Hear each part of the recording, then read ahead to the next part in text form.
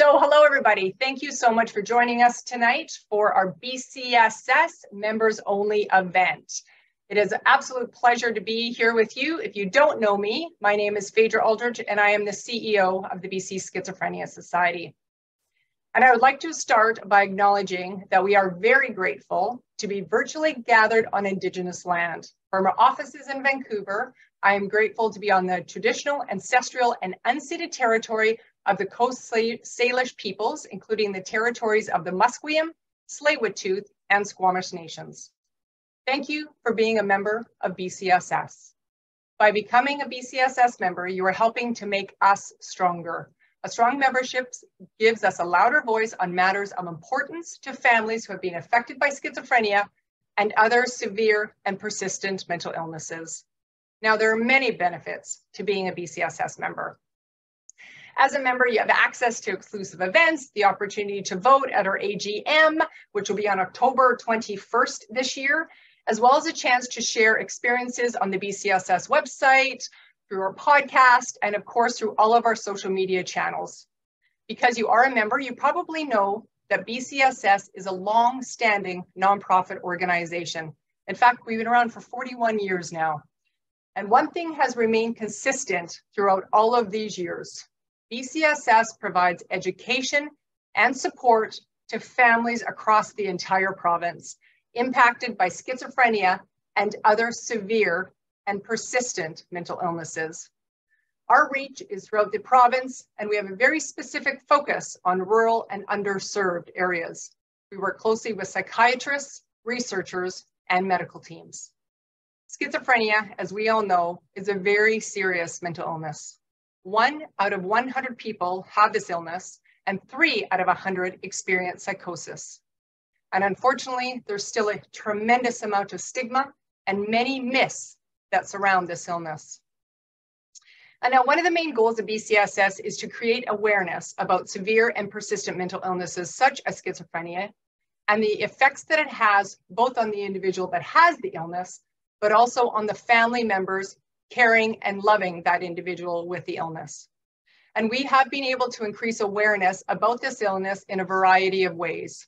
And thanks to our partnership with the provincial government and all of our other partners, we now have more staff in rural and underserved areas, additional support to support our younger generation through our kids and teens and tweens programs. We have additional family support programs. We have our Strengthening Families Together also known as SFT. And we have our podcasts and events just like this one. We have worked very hard to strengthen relationships within the community because we know we cannot do this alone, both with ministries, health authorities, and community partners. In order to have change, we must work together. We cannot do this alone. We have come a long way, but we still have a long way to go when it comes to educating people, supporting those dealing with the illness, and helping to create change within our province. We need everybody to make this happen. And we have to continue working together to build a province where those affected by schizophrenia and other severe and persistent mental illnesses receive effective treatment and support. And a province where our families are recognized an essential partner within the mental health system. And tonight, we get to hear from Dr. Richard O'Reilly, who will share his view of the services and treatments available for people living with a serious mental illness in Canada. And after his presentation, we will have lots of time for a Q&A session. And we really do want to hear from you. So please make sure that you put your question in the Q&A button just at the bottom of your screen so we can keep track of them.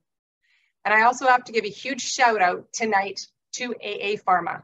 AA Pharma, thank you for your ongoing support. AA Pharma is the sponsor of tonight's event, and now we're going to watch a short video from our sponsor.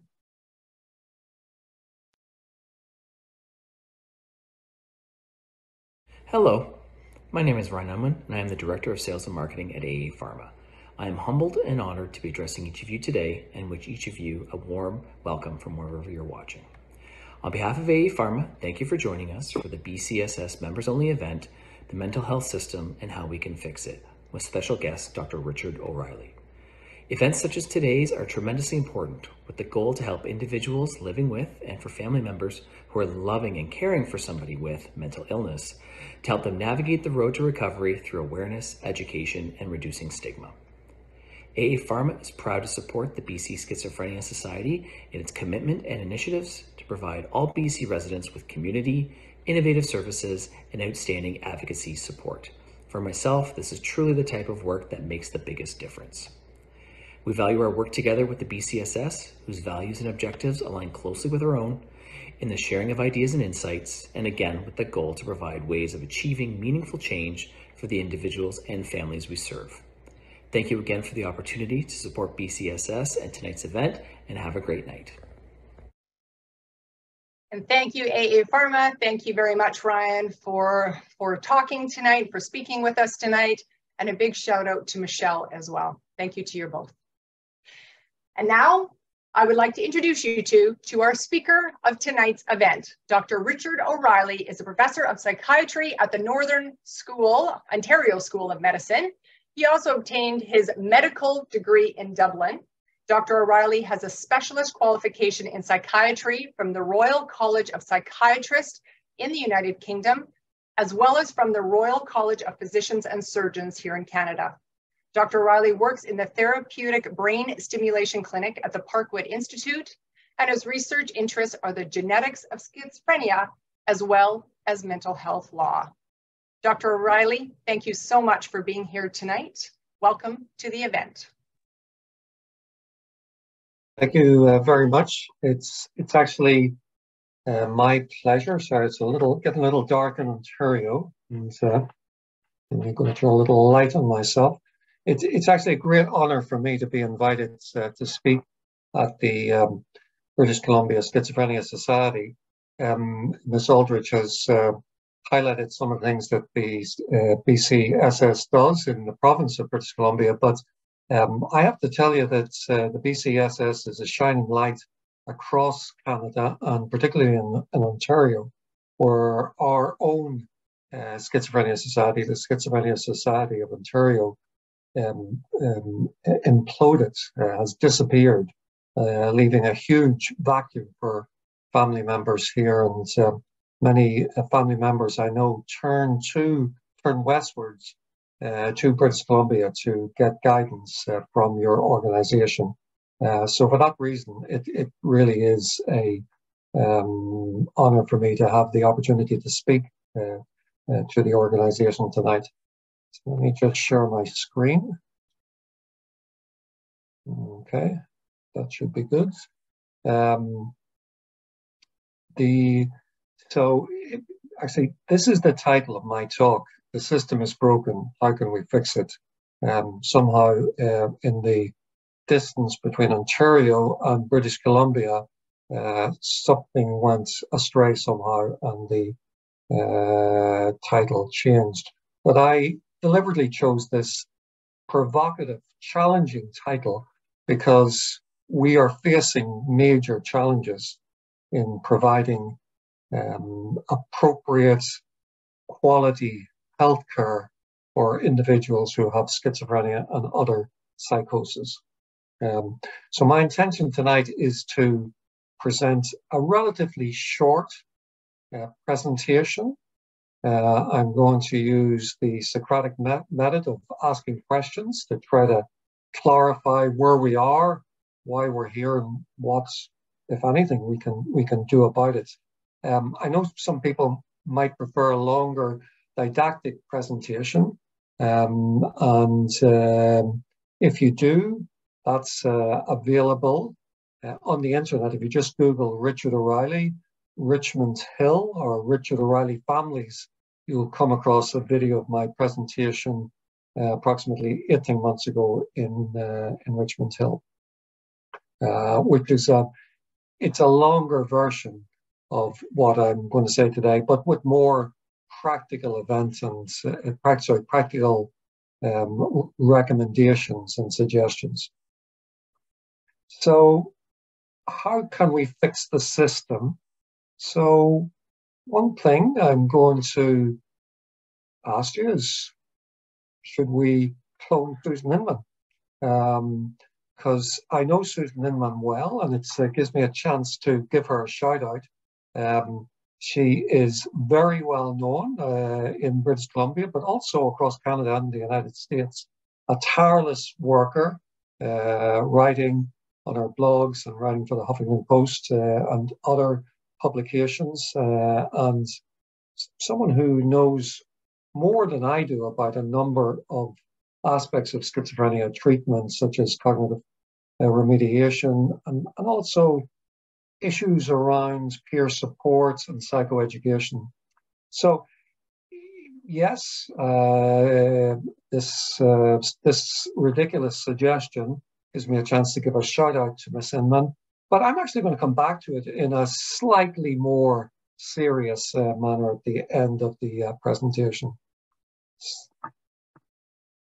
This is the this is a web link, and uh, I will provide it to the organization. But uh, this this gets to the presentation I give at uh, Richmond Hill. But uh, again, if you Google Richard O'Reilly families, I think top of the uh, uh, top of the click-ons or Google results is that video for that presentation. So in considering uh, this question, I think I really have to be asked, is the system really broken? And one of the things I want to say to you is that one of the few advantages of getting older is that you're by necessity have been around a long time and you see the changes in the system. And when I started psychiatry, it was really easy to get an admission, not just for psychosis. The idea that somebody in an acute psychotic breakdown wouldn't be admitted to a, a psychiatric ward was just unthinkable. Uh, in fact, when I started to practice in, in Ontario, I was able to call any of my colleagues uh, from an outpatient clinic I, I, ran, and they would admit patients. If it was an eating disorder, I would uh, uh, call a colleague who had an interest in eating disorders, and he or she would admit the patient. Similarly, with uh, if it was depression, that was very easy. And the only question that asked me that say, Richard, are you going to take the patient back when we discharge the patient? I'd say, of course, and we'd get the person in. Now, as I'm sure a number of you listening tonight know, you can't obtain an admission when it's necessary. You bring your loved one to the hospital. There are no beds. It's backed up. People stay in the emergency room for 48, 72 hours. And of course, in that situation, the clinicians, like me, are under tremendous pressure to send people home, not to admit them. So now we have a situation where people coming in with very severe psychotic episodes will not be admitted um, especially if they've got family at home looking after them. People say, well, you take them back. Uh, and even if they're entirely disruptive or people are up all night, etc., they, they aren't admitted. Um, I, am interested to hear in the question and answer and uh, comments uh, if that happens in British uh, Columbia. I'm fairly sure it does. It certainly is happening in Ontario. And if you do get somebody into hospital, the admissions are too short to allow full uh, resolution of uh, psychosis, let alone the development of a uh, of a discharge plan. So it's not uncommon in Ontario for individuals to be admitted with a psychotic illness to be admitted for um, six to nine days and then discharged. Uh, in the United States, I know admissions are take an average of six days. But in that time, I can tell you from working all my life in inpatient care, you spend the first three or four days trying to gather data, figure out what's happened, hopefully talking to uh, family members where there are uh, where they are available. Um, takes two weeks for antipsychotic medication to have a significant effect, and of course, you know you need to spend a lot of time working uh, with community agencies, family members, friends, the person themselves to try to get a discharge plan. and the failure to do that, the short duration of psychiatric admissions, means that people are increasingly discharged to homelessness. They go to the shelters, or they're just released and left to their own devices. In the early part of the millennium, the you know 2002 to 2003, this was almost unheard of in London, Ontario, where I work. By 2006, 2007, we were discharging from my hospital 200 patients a year to homelessness. And this was brought to light by um, Dr. Cheryl Forchuk, who is a, a nurse, a PhD nurse researcher in London, Ontario. And it caused quite a flap initially. Uh, uh, and some effort by the hospital to correct that. But as the years gone by, gone by, our bed numbers have shrunk. We've moved to a very nice new facility, but there are only a quarter the number of beds that there were in 2000. And so we are regularly discharging to homeless. Um, I, I don't know what people are thinking as I say this. Maybe they're thinking, oh, well, that's that's okay, that's normal, that's what happens. Don't you know, Dr. Riley? This is totally, totally inappropriate. Many severe mentally ill uh, patients at the end of uh, uh, admission, let's say it's eight days, they've been put on an antipsychotic medication, maybe more complex regime with an antidepressant and a hypnotic at night. They're sent back to their family physician with no community follow-up. So these are the, these are the the most severe cases in psych- psychiatry, and we don't provide any ongoing community treatment, how could that be? That's totally ridiculous, outrageous. Um, we should not stand for that. Not, not, not happening once, but it's happening all the time. Family doctors continually complain to me about it. Uh, to be fair, family doctors complain about a number of other things, uh, such as not getting a psychiatric consult for an anxiety disorder. But again, these are the most severely affected individuals in our system, and we should provide ongoing care after an acute hospitalization. Fortunate patients may have the supports of, the fa- of families. Um, um, I'm thinking like uh, caregivers who no doubt are um, on the webinar tonight. But I think a lot of you will have had the experience of your relative being treated in hospital uh, or perhaps by a community uh, clinician and not getting any information about what's happening. Even though you're providing intense care and monitoring at home. Um, and this again is is totally unacceptable. Um, British Columbia may be may be different than Ontario. I know that your uh, mental health legislation and privacy legislation is more respectful of the uh, role that family members uh, uh play, but I still think, and I'd be interested to hear after the presentation that people have had this experience. Uh, so again, what I'm saying, family members are often not given essential information that they need to provide uh, safe care, uh, support, and monitoring of their ill relative. Okay, so is a solution just around the corner? You know, I, I am an optimist. Um, I do believe that uh, parts of the system can be improved. However, I really see myself as a realist. Um, and as a realist, I have to say something to you that you're not going to want to hear.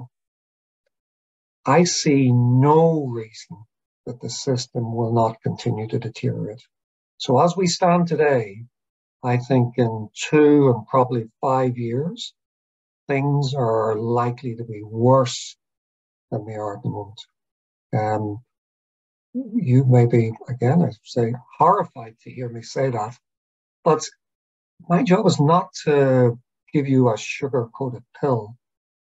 things have been progressively deteriorating over the almost 40 years now I've worked in, uh, in Canada. And there's, there's nothing to suggest that they're going to get better. Over the years, I, I, I will say that there have been, certainly in Ontario, two big improvements in the system. Uh, and those are the, the development of assertive community treatment teams and the development of first episode programs for psychosis.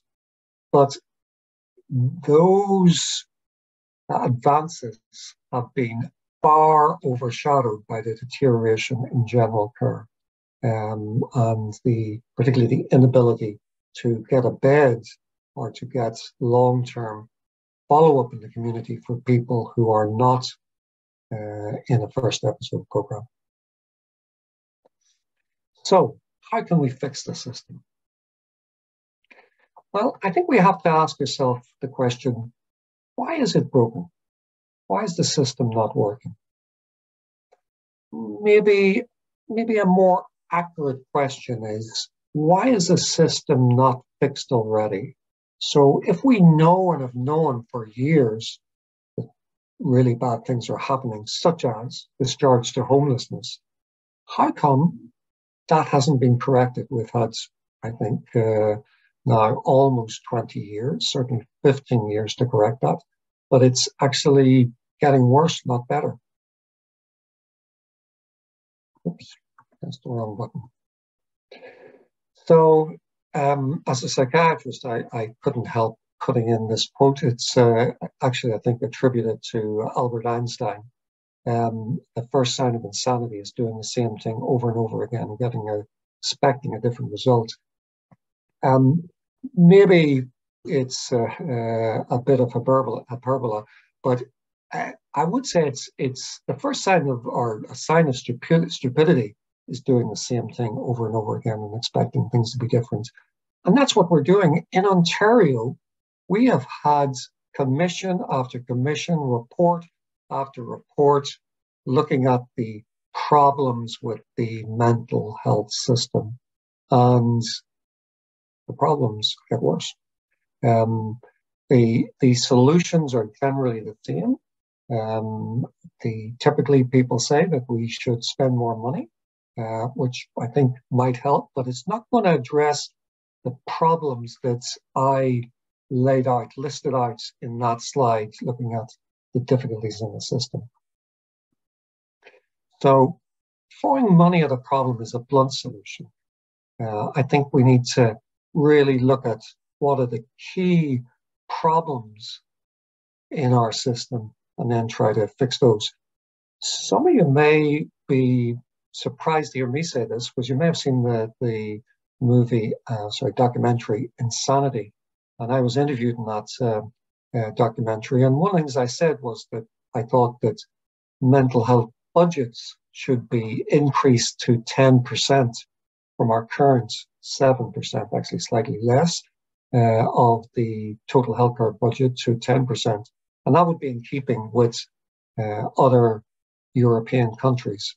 However, unfortunately, um, I the part where I said in the uh, interview, the, the videotaped interview, where that money should be spent was left out because the money shouldn't just be into the general mental health coffers, but it should focus on people with severe and persistent mental illness because they are the most seriously ill and they are not getting appropriate treatment at the moment. So money may bring some benefits and a trickle down effect, but will not uh, address those woeful failures. So that brings me back to the question that I originally posed. So why are these feelings not already fixed? Maybe um, we need to ask, what is it that's really broken? What is it that's stopped um, um, progressive approach to looking after individuals with severe and persistent mental illness? Well, I would uh, uh, posit that the problem is that we don't prioritize services for the most seriously mentally ill individuals. Why do mental health services not do what the rest of medicine does? So in respiratory medicine, for example, we don't prioritize treatment for somebody who presents with a cough, who doesn't have any underlying pathology, cancer or pneumonia, etc. They've got an irritating cough. That might that can be very irritating. We need to see what we can do. But a person presenting with acute an acute asthma attack will get priority treatment. If they're an adolescent, they may be in acute respiratory uh, um, distress, they'll be admitted to hospital, they'll be treated aggressively. Um, and when they're discharged from hospital, because that's such a serious problem, they'll get follow up by a respirologist uh, who will make sure that the family physician has all the knowledge and tools to prevent that happening again or reduce the frequency of further acute asthma attacks. But in mental health, money is going willy nilly. People who have got anxiety disorders or relationship problems uh, or difficulties in, with their parents will get equal access, in fact, sometimes more access and easier access to treatment. Is the problem in the question I pose mental health services? Certainly, it doesn't focus the attention on what's happening to people with severe and persistent mental illness.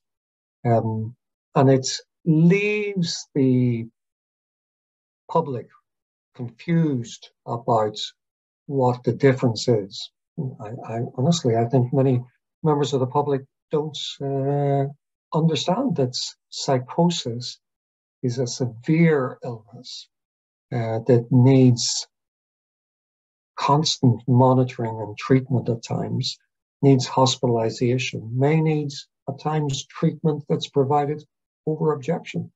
Um, mental health services sounds like it's well-being, that it's you go to a spa and maybe somebody will improve your overall health.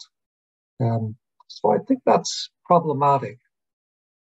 Now, this is the point in the lecture where if I was in a university facing a, a class of students, medical students, say, I would be wise and it would be advised to give what's called a trigger warning. So the next point I'm going to put on the screen is going to be quite upsetting to some members of this uh, audience. So I'm just giving you warning, a trigger warning, as they call it. Uh, members of the British Columbia uh, Schizophrenia Society, I'm sad to tell you that nobody really cares about people with severe mental illness.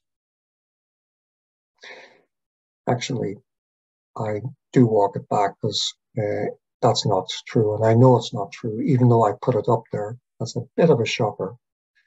Some people care, you care, and many, many other uh, family members care. Um, many of my colleagues care. Uh, I was uh, talking briefly with some of the organizers before the start of this meeting, and uh, uh, I know many excellent caring psychiatrists in uh, British Columbia. Two, the two Bills, as I call them, are come to mind immediately, immediately Bill Honer and Bill MacEwan excellent, and there are many, many others. Um, and there are many nurses and social workers who do care. However, as organizations, psychiatric associations are made up by psychiatrists who do all sorts of uh, work, child psychiatry, look after addictions, look after people with uh, mood disorders, anxiety disorders. Many of my colleagues uh, just see people for counseling, see people on a weekly basis for counseling, don't see any uh, people in hospitals or community based clinics. So, when it comes to organized psychiatry, organizations like the Canadian Psychiatric Association or the um, I'll, I'll, use the, the Ontario Psychiatric Association rather than the BC Psychiatric Association, there are conflicting issues. And that prevents in my experience, has prevented repeatedly psychiatry stepping forward, organized psychiatry, to demand changes in hospital systems and in funding that would solve the problems that I have listed earlier. So what can we do? Um, you know, actually I've skipped over one thing, so I'm just going to go back. Um, so yeah, organized professional bodies are not likely to really take the bull by the horn and advocate for people with severe and persistent mental illness. Some individuals will definitely do that, uh, but you can't rely on psychiatry. Another problem that we have, and my colleagues have, and again, I've alluded to it, but I'm going to emphasize it, is that in when the system is under resourced, and somebody, your relative, comes to the emergency room, it's exceedingly difficult for me to insist that that person is admitted if we have 30 people um, boarding in the emergency room and no beds or no uh, discharges up, upstairs. And the solution, of course, what happens in these situations is the hospital administration approached me and said, Dr. O'Reilly, you've got uh, five patients uh, inpatient and we have uh, 30 people in the emergency room. Can you discharge two patients? And sometimes, yes, I discharge patients before I believe that they are ready to, uh, to go back to the community. The other individuals that claim to speak for the uh, severe and persistent mental illness are uh, people in various consumer groups. Um, and this again is problematic.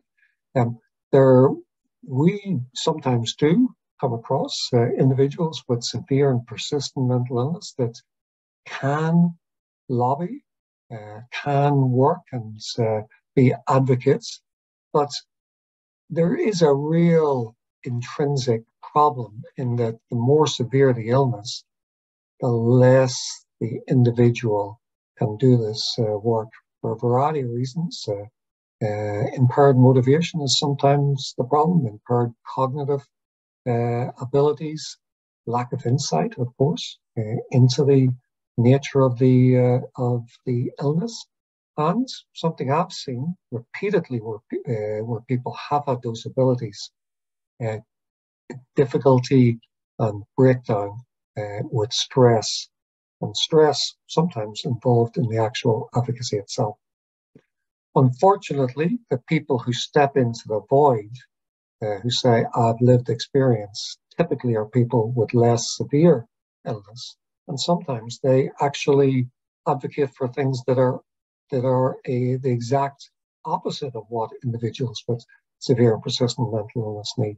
So sometimes so-called advocates, patient advocates, are advocating for the um, ending of involuntary hospitalization, which is life saving for some people with severe and persistent mental illness. So, what can we do?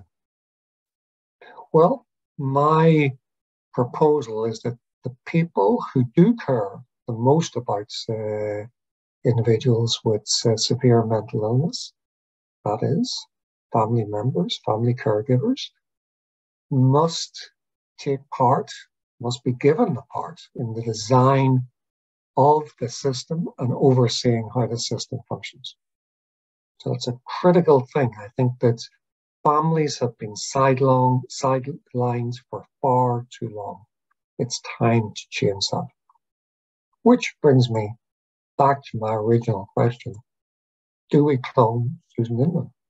Because Susan Inman has done many things. Uh, and if we had two Susan Inmans, presumably she could do many more things. She could write more articles. She could uh, become an expert in other areas of uh, schizophrenia care. She could uh, organize perhaps other uh, groups across the country, bring her uh, knowledge and expertise. And goodness, if we had three Susan Inmans, she could uh, do this uh, perhaps through the United States as well as here. She could uh, uh lobby politicians. I don't know what we'd could do with four Susan Inmans, but it would be wonderful. Unfortunately, it's not possible to clone Susan Inman. And I have to tell you just for a laugh that actually to make the slide took me about 35 minutes, uh, much longer than I, I uh, uh, thought necessary. I thought it was going to be really easy, but just to have four pictures of Susan Inman line up and come onto the screen when I wanted uh, was uh, nearly impossible. So, of course, to clone somebody is uh, ridiculous. But I want to make the point that if we can't clone Susan Inman, then people in British Columbia and across Canada can't expect Miss Inman to do everything. And other individuals need to step forward. And I believe there are many family caregivers who have talents and abilities that could really uh, advance the agenda. I know, of course, from a, a lot of contact with uh, family caregivers over many years uh, that there are many reasons that people cannot step forward, such as the burden of care for their loved one or concerns about confidentiality, etc. But there are people, I know there are people out there who can do things. Maybe go, you know, looking for new members for the, the uh, Schizophrenia uh, Society of British Columbia. Um, maybe people who, you know, don't feel that they can do some of these tasks could step forward and uh, uh, maybe they've got accountancy skills and could do something like that, or they've worked uh, in policy development and could help with document writing. Maybe some people have a research background, and goodness knows, uh, in the field of advocacy, having your facts right, having the right media and articles is uh, really helpful. So, in a way, this is a call to you and to others that you may know to think about stepping forward and uh, doing something. And the goal being to see families more involved in the system and setting up the system. So, in summary, the mental health system is broken. Unfortunately, as a realist, I have to say, I'm, I really hope you will take this on board that the services are actually going to get worse. And so our task is uh, significant, it's onerous, but um, I am an optimist. Psychiatrists, um, as a, an organization, as a profession, aren't going to solve those problems for you. Really, the system's going to get worse, and families have to become more visible.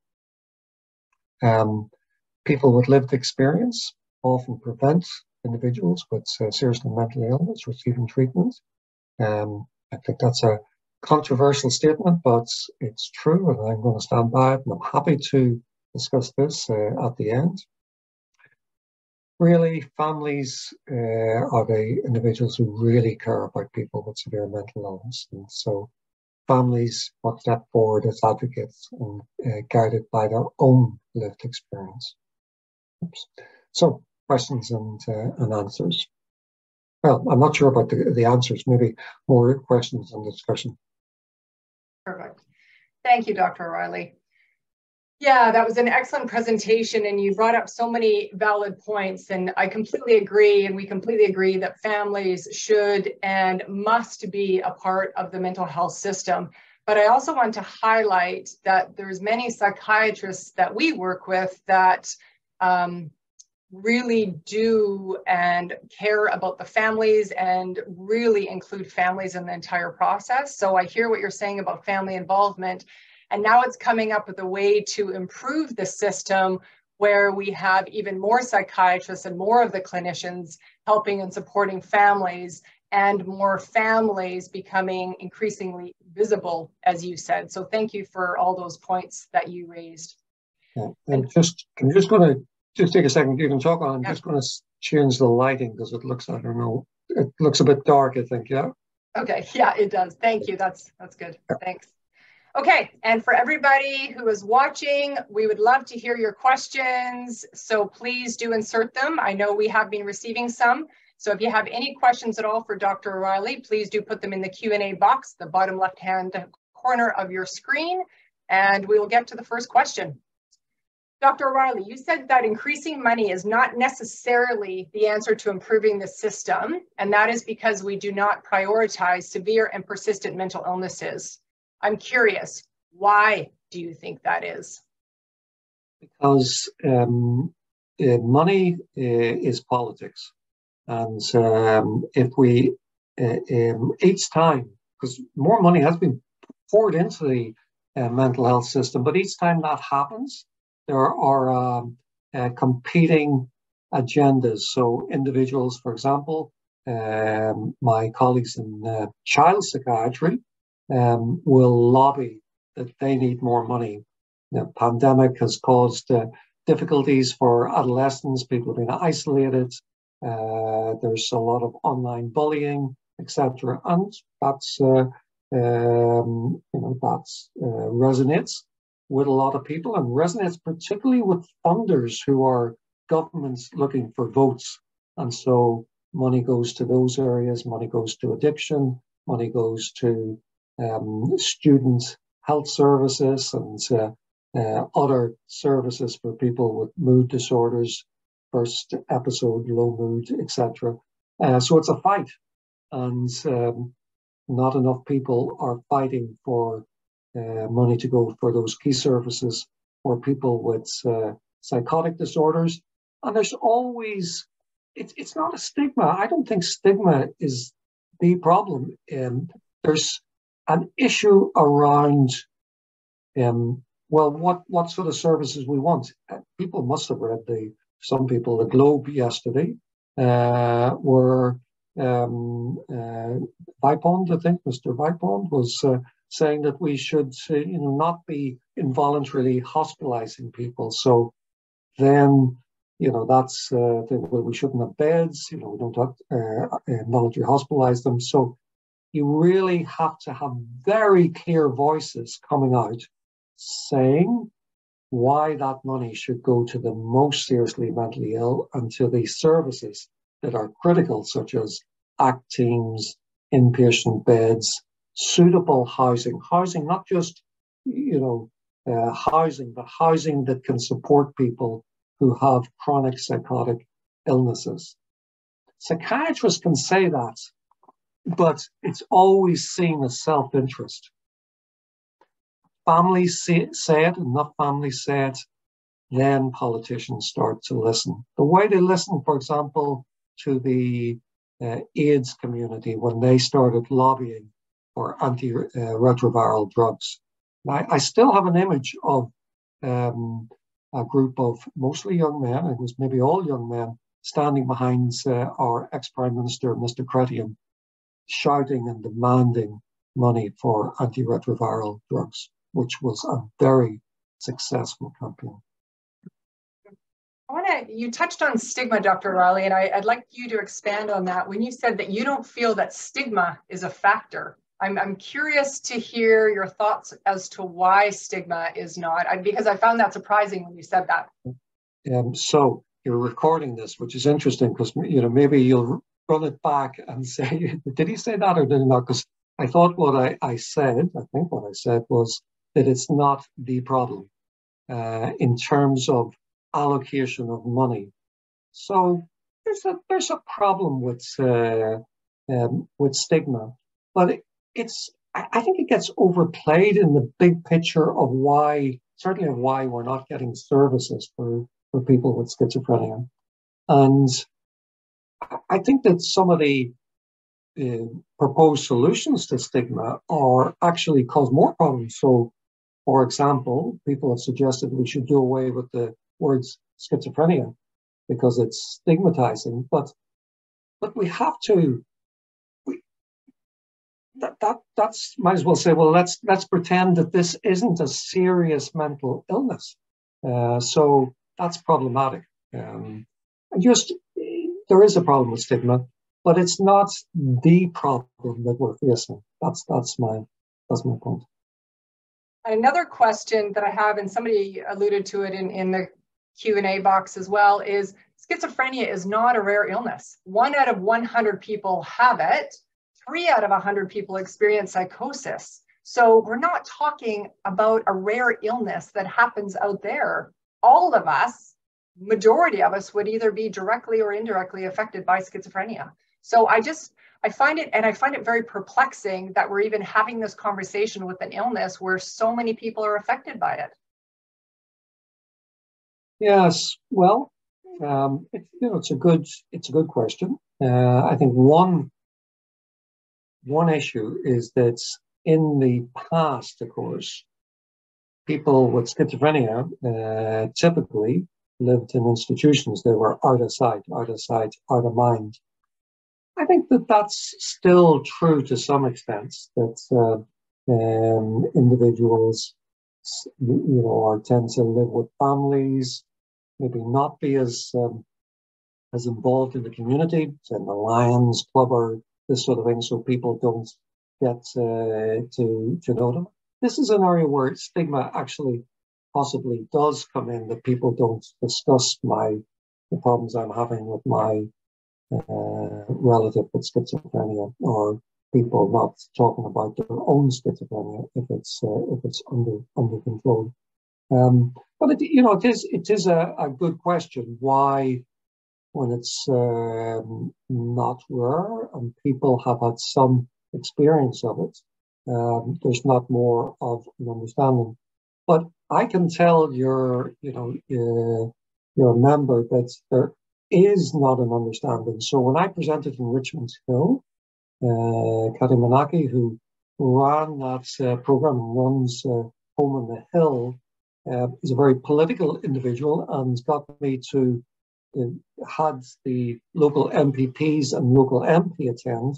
And after the meeting, I met with them all on a Zoom meeting. It was just at the end of the uh, of COVID, and not one of them had an understanding of severe and persistent mental illness, even though they'd, they'd talked to Miss Manaki, they'd been involved with her program, um, but they they did not grasp the nature of the problem. Wow. So, Dr. O'Reilly, if you had a magic wand, what would you do to change the system? And I know you talked about it in your presentation, but if we could do something to change the system, what do you think that would be? What what could we do? So, so I don't think there's one element of the clinical services that could be changed that would um, completely radically alter the system, and it's very hard to change that.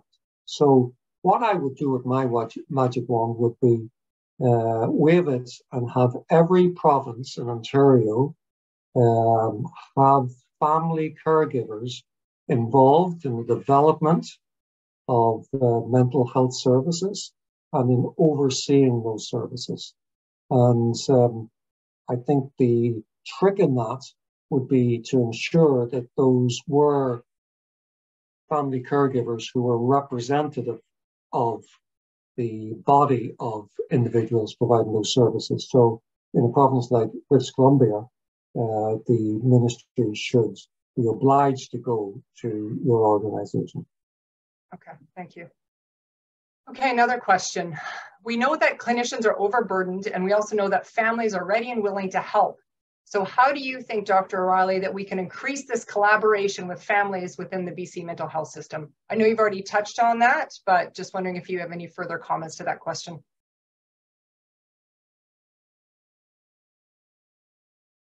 So I'm just, excuse me for yeah. thinking. So I think you're just saying how, how do we increase the collaboration with families and how do we get more family involvement within the BC mental health system?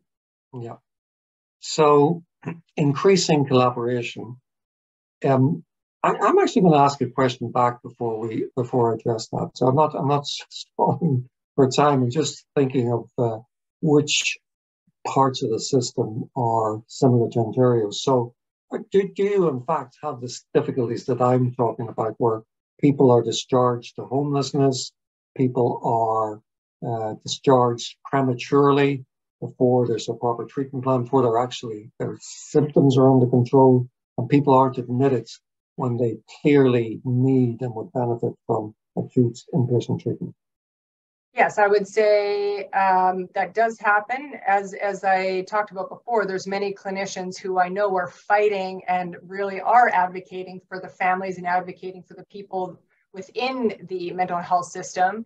So, but I would say yes, as a generalization, the answer would be yes, but I also know there's many clinicians who are doing their part to, to make yeah. changes.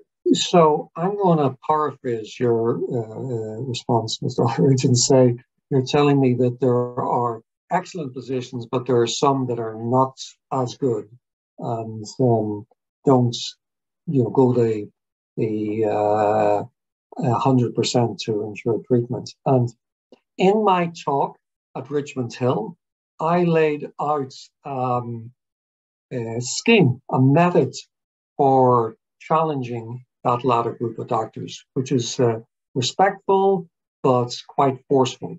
And um, uh, it's just a, a, series of a way to communicate. Uh, so it's a, a you know, a, I guess a, scheme for communication to challenge people who don't do what's uh, necessary. Uh, so people can look at that on the uh, on the uh, video. And if the Schizophrenia uh, Society BC wanted me to come back, we're interested in that and talk about development, I'd be happy to do that because I've been talking about that for I don't know 15 years or more, and I don't think anybody's systematically taken it up. Okay, well, thank you. I, yeah, can, and, can and I just can I just yeah. say on the other side, um, um, psychiatrists are human, and um, so they love, you know, like all humans, they love a bit of flattery and, and congratulations. So if you've got good doctors, then yes, you know, a letter from the British Columbia uh, BC, uh, sorry, BC Schizophrenia Society saying our member said you provided great care to her brother that's a that's a wonderful thing, you know. Copy the department's head, copy the head of the university. We we forget how powerful our voices can be, and um, unsolicited um, uh, praise is very powerful. And actually, I see such uh, letters sometimes when I um, uh, assess people as an external um, reviewer for promotion. So some clinicians have these letters and put them in. They can be very powerful. Yeah, families have a very powerful voice. There's no doubt about it. And that's why we're having this event tonight because we need members and we need those family members to be a part of uh, to be a part of BCSS and to be a part of the system. So yeah, thank you for that. Okay, next question. Uh, what can I do to help stop my son with schizoaffective disorder from going in and out of acute care? Why can't medical teams keep him medicated and on extended leave when he obviously needs and benefits from it? The human right of autonomy to refuse medication seems to become meaningless in the context of constantly reoccurring destructive relapses with mounting damage to his life. Okay, so I'm going straight back to my last answer. So that's a questioner. I would uh, ask you to look at the video uh, from Richmond Hill um, and consider using the approach that I suggested in the video to challenge the uh, clinicians and mental health teams who haven't done what sounds to be uh, absolutely essential to keep uh, to keep your relative well. Okay. Yeah. Thank you. And I just got a note here from the team saying, Dr. O'Reilly, we only have five minutes left technically. So why don't we go a little bit over, but we also understand if people do have to leave, as long as that's okay with you, uh, Dr. O'Reilly, if you don't mind sticking around for yeah, a little no, bit longer. I'm, yeah, I'm happy to, to do that. Okay, thank you. So when are parents allowed to be a part of the system and when can information be shared? And there's another question down below you know, when we do talk about this, Dr. O'Reilly, is that why is it when a loved one has Alzheimer's, dementia, that the family is immediately called in, or if an individual has type 1 diabetes and their son or daughter, and they, they show them how to, you know, inject insulin using an orange. So the family is an immediate part of the equation and part of that circle of care.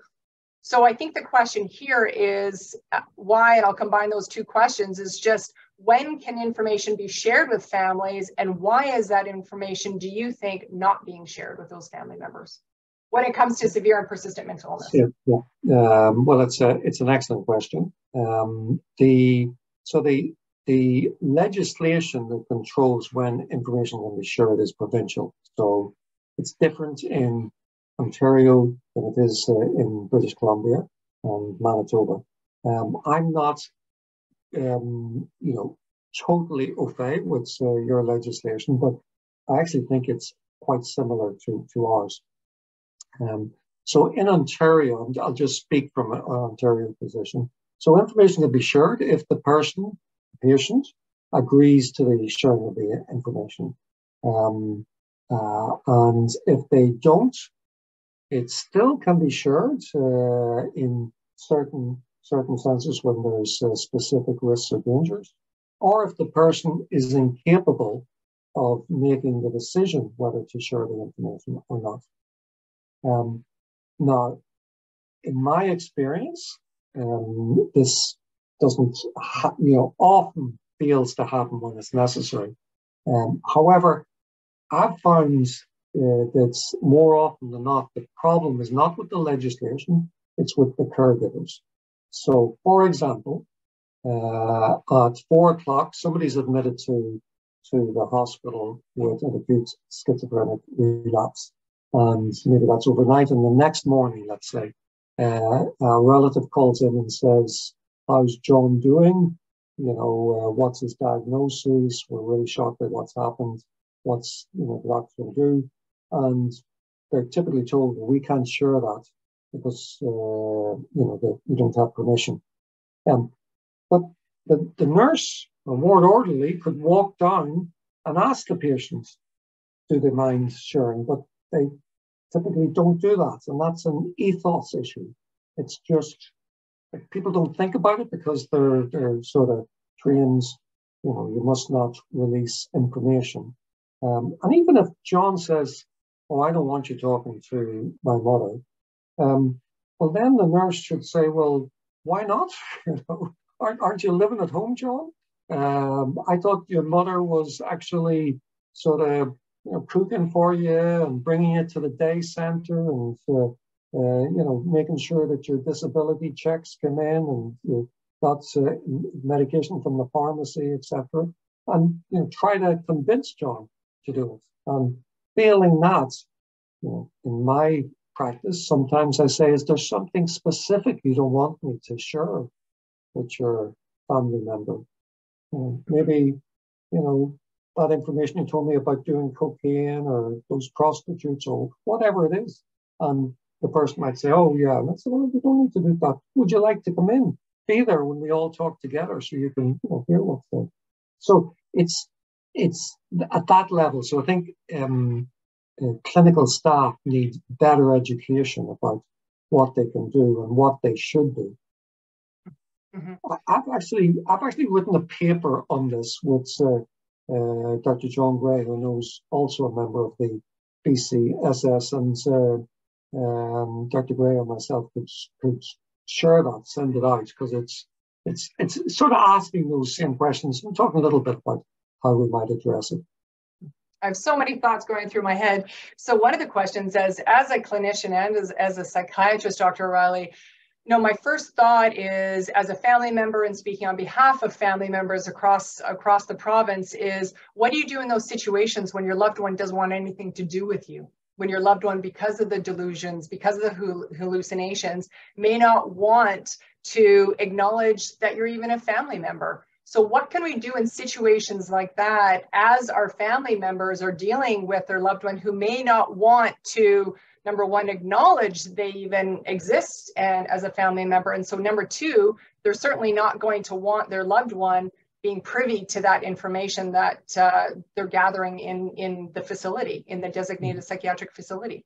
So, so I'm going to take you up on, you know, an exact question you asked me. So someone will not um, agree to sharing of information because of delusions, because of delusional beliefs. Um, if that's the case, the person isn't capable legally of making that decision. And certainly in Ontario, although this is is not used that often when it could be, uh, it is possible to proceed and um, share that information. So to declare that the person is incapable of making that decision and proceeding from there. Now, our system is um, somewhat different than yours but how you would uh, proceed, but here you would you know, go to the, the substitute decision maker to ask if information can be shared, and the substitute decision maker uh, of first call is usually a member. Okay, thank you. And another point that I would be remiss if we didn't bring up anosognosia. It's getting mm-hmm. more and more attention. Thank goodness. We are increasing awareness about anosognosia, which, as we all know, is um, you lose insight into having an illness in the first place. So, why would those individuals put up their hand and say, I need treatment? when you do experience anosognosia. So what are your thoughts on that in terms of ways that we as an organization and as family members can increase awareness and make people become even more aware that anosognosia does exist? So, you know, the first thing I'm to say is that, um, you know, I'm talking about lack of legal capacity. I'm talking about anosognosia. Um, we talk about lack of insight uh, as well. You know, it, it's it's the, the the term, the word, has not had the impact that I think people thought it was going to have. Um, um, and I've got I've got I've got thoughts about that. I'm not I'm not, but I'm not sure of the reason. One, it's a complex medical term. Uh, uh, it's also hard to say. So when you discuss it, and so people in the media, that you know, it's hard to spell. Yeah, it's even harder to spell. Yeah. Especially got a touch of dyslexia as I. Uh, but it, but you know, it's it's it doesn't quite resonate with the general public. Uh, so people, you know, write about it. I know, I, I know uh, Susan Inman, who I think is probably on the uh, on the webinar, has has done this. But I I, I think people don't quite get it, um, what it what it means. It's difficult to explain, and honestly, it's explaining something in words is completely different from experiencing it, from seeing it, having someone, and uh, I think that's that's what brings meaning to you. And uh, one of the things, just you know, as a, an anecdote um, one thing I did in my first rotation uh, as a psychiatric trainee was sat down with a young man uh, for every morning for you know, 20 minutes or you know, two or three times a week for 20 minutes and tried to talk him out of his delusions, you know, logically. And you do that and you, you really appreciate what's meant by anosognosia. Thank you but, for that. But well, absent that, it's difficult. And, and that's why I tend to talk about capacity and insight. Mm-hmm. Yeah, makes sense. With that word that's very difficult to say, pronounce, mm-hmm. and to spell. Yeah, thank you. And understand. yeah, and understand. Good point. Okay, another question. For each of the four steps of assessing decision making capacity before giving consent for medical treatment, there seems to be deficiencies, difficulties in understanding complex details, appreciating that it's relevant to self, comparing and weighing options, and communicating consistent communication. In the academic journals, there are useful screening tests, but emergency rooms tend to only use one, the MSE. How can we foster more standard screening for incapacity? Well, it's um, yeah, I, I'm a little bowled over by the question because I just don't see it that way at all. I, I, I think uh, standard tests for uh, assessing capacity should be uh, left over for research projects. Um, the issue is a very simple issue.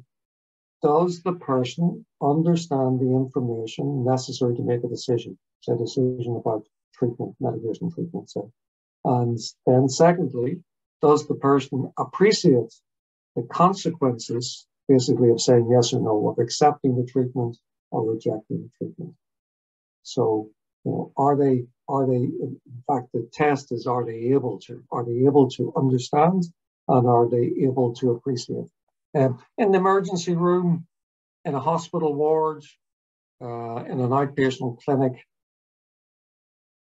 the doctor or other clinician can, can do that. They don't need another test, uh, a written test. A written test might be pen and paper test or, you know, a, a more complex breakdown might be helpful if you're concerned about going to court or going to review board, but I've spent my life going to review boards arguing this, and I, I think I, I, think you know test just clouds the picture, uh, and I'm happy to be cross-examined at length about why I think the person, the evidence I have that they don't understand or they don't appreciate, and for psychosis, it's mostly the second branch of the test. Okay. But don't you think we need some kind of, I'm going to put on my journalist hat here. Don't you think we need some kind of system though, Dr. O'Reilly, just to ensure that we do have the proper mechanisms in place for advancing through those stages? No. Um, I, am I'm, still, I'm saying no to a, to a pen and paper test or a specific test. What we need is people to really understand what the what the test is. It's a simple test. Uh, is the person able to understand the information necessary to make the treatment decision, and are they able to appreciate the consequences of making that decision or not? And so I think we really need to hammer that home. Um, if you start making it complex, and people start thinking they can't do it or that there's some magic to it or something. Okay, thank you. Another question. I believe at the heart of this huge failure in our system or needing to improve our system is the lack of oversight and accountability. We need to reallocate or revamp our funding models. Money is being poured in in so many different directions, which it leaves nothing left for people with serious and persistent mental illnesses. So my question is, what do you see is the most effective way to ensure accountability within this system? And how can we focus our advocacy for accountability and greater insight or oversight. So this is the core message of my presentation. Family members um, should should insist on being at every table where there is development of mental health policy, um, uh, distribution of funds, uh, and monitoring of the performance of the mental health system. Okay. This also ties into money and funding. Why does Canada spend less than European countries on mental health services? I, I can't answer that. Sorry. We need we need your magic wand. Sometimes you have to to admit you just like I can't answer that. Then why do we not do it? Uh, fair, fair enough. Um, obviously, as we heard, um, and from your accent, Dr. O'Reilly, that you were not born and raised in Canada and you've done extensive travel and you did your education other locations. So, what have you learned about the mental health systems in other countries that we could learn here, or maybe even adopt here in this country? So, you know, I'm, I'm going to be a little flippant. Um, um, because I've, I've said this in other settings, I've been sort of said this spontaneously um, about Ontario, that I've, I've worked in Ireland and uh, uh, I've worked in, as a psychiatrist and in Saskatchewan. Um, and Ontario is by far the worst system I've worked in, uh, which is a sad, a sad thing. Um, I, I, you know, I, I think you got some special problems in British Columbia, particularly in Vancouver. Um, I, I, I suspect your system is provides somewhat better care than Ontario. You might not want to hear that, but that's that's my overall impression. Um, so why why does Ireland do better? I think because it's it's less polarized, um, as was Saskatchewan was a you know, small, friendly, somewhat inward-looking province, but it was really concerned about its uh, its population, and you couldn't get away with nonsense. You couldn't say, you know, we should ban involuntary uh, hospitalization because it's a terrible thing. like that would just it just went nowhere. But in Ontario and maybe not in British Columbia as well, um, you know, people are saying things, and in in society in general, as you as you know, we are more polarized. People are saying things that you know are just nonsense, and nobody's like the person next to them isn't correcting them, and so it's it's allowed to go. So in Ireland, people would have said, "Look, we've got to do something about this problem." And their system is deteriorating as well. I, don't know if that's good news or bad news, reassuring or not, but it's uh, but it's still, I think, better than significantly better than China. Okay, thank you for that. And I know we're running out of time here, and we still have a lot of questions, but this is this is a valid one, and I'm sure this is one on many of our minds. Addiction services appear to dominate the field, and now I feel that I have to fight to bring attention to those with severe mental illness who are not addicted or do not use drugs or alcohol. I feel that I'm in the minority. What are your comments about this observation? Um, well, it's it's echoes what I said earlier. It's uh, about why adding more money to the system isn't going to be the solution to the problems that I listed. And there are other problems with uh, providing services to severe people with severe and persistent mental illness. So it's a fight, it's a battle. And uh, the question is absolutely right.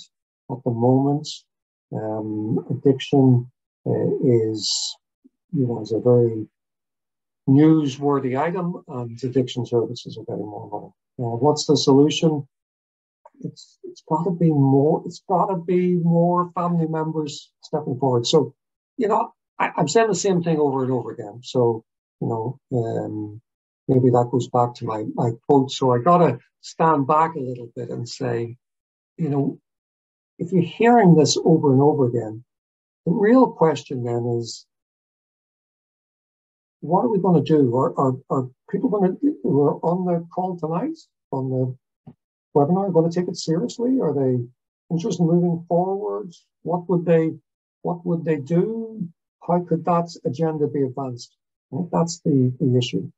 And we're, we're getting, it's getting late, so we're not going to do that. But, you know, if, if, if I could help, or maybe myself and some of my colleagues from British Columbia um, get together, talk about this. Could we advance uh, uh? Could we align to do that? I'd be more than happy to be involved. Thank you. A nice segue into our last question. Unfortunately, we are running out of time, so apologies we didn't get to your question. Um, but um, Dr. O'Reilly, we talked a lot tonight about increasing awareness. We covered a tremendous number of topics, and we could have had another two hours for this webinar. But how do we get our message out to the media and the general public? And the question doesn't specify in what area, so I'll just add my two cents, both in terms of severe and persistent mental illness. What is it? The effects of it, the effects on our family, the effects on our um, on our healthcare system, on our clinicians, but also what we can do, what we can do as a population to address this illness that is not rare. So with the, you know, with the media and the general public, I think you, I think you have to go through the media to get to the general public. And um, I think that we have failed to do some things that we could do. So um, many many journalists are are quite sympathetic, uh, and I think that nationally we should have an organisation that uh, that tracks these journalists and have um, family members who contact them and you know talk to them and supply them with uh, information and in that way encourage them to uh, to do things uh, that will be positive. The model I'm suggesting is is very similar to what the Treatment Advocacy Centre uh, did. So uh, Fuller Torrey told me that he you know kept a list of journalists who was interested in this area and would you know organize technologically so that they could uh, keep in touch with these journalists, send them articles, research articles, uh, um, other media stories, etc. And how would you do that? Well, you need, you need an organization, but you need somebody and some people to actually do that, to monitor newspapers, to see who's doing that. So that's what my appeal is. I think lots of individual family caregivers could add to this under an appropriate umbrella. Yeah, thank you for that. You know, I've, I've said it before and I'll say it again. I look forward to the day when we as a society can lean in when we hear that somebody has schizophrenia or when a family member has their brother, their sibling, their husband, their partner, their daughter, their aunt has schizophrenia. And when I look forward to the day, and hopefully it happens in our lifetime, when we as a society can lean into those individuals rather than leaning out. And we see it time and time and time again with every other illness people lean in and you know, do everything they can to support them. And when it comes to schizophrenia, it seems to be quite the opposite. So I look forward to the day, Dr. O'Reilly, when we no longer have to have these conversations and we can improve, continue to improve our system and work together to make that happen. So thank you for being here. Thank you for sharing your time. And thank you for all of your insight. And it really was a very valuable conversation. So thank you for that. Thank you. And again, it was, uh, it's, actually my honor to be here. And uh, I do again salute the uh, Schizophrenia Society for its wonderful work they do. Thank you very much. And I just, before we go, I just want to give a huge shout out to the team right across the province, all the regional managers, all the educators. Thank you for everything that you do. Couldn't do this without you. We need you. So thank you to the entire team across the province, to the provincial office team, once again, couldn't do this without you. We are in this together, and I am just so honored and so grateful for the team that I get to work with every day, and also to the board members, to the society board, to the foundation board, who are all volunteers and volunteer their time endlessly to support BCSS and our families right across the province. So thank you to you all. BCSS, you have my word, We'll continue doing everything we can to increase awareness about this illness and to do what we can to move that dial with uh, right across the province in every single community, not just Vancouver, not just the larger centers of Prince George or Kelowna, but the right across every single community across this province.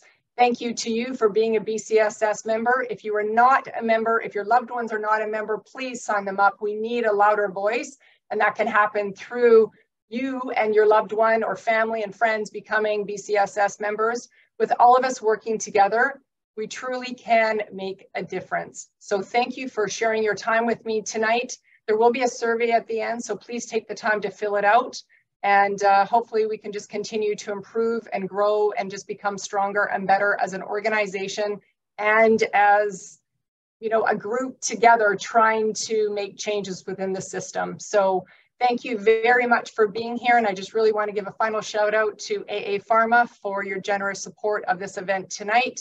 And uh, thank you again. And I salute all of the BC, the BC families that um, are supporting a loved one with a severe and persistent mental illness. So all the best. Thank you for being here and we will talk soon. Take care.